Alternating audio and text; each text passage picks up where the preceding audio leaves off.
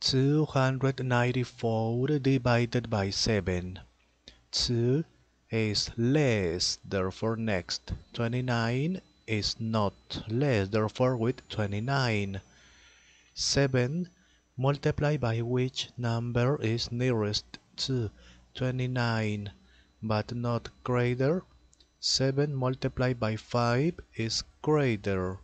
Multiplied by 4, 28 is not greater. Okay, subtract. 29 minus 28 is 1. Next, 14. 7 multiplied by 3 is greater. Multiplied by 2, 14 is not greater. Okay, subtract. Next, that is not number, therefore finish it.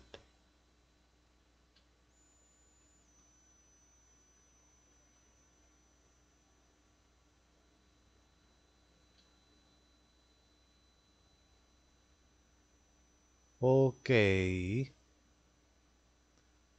294 divided by 7 is 42. Okay.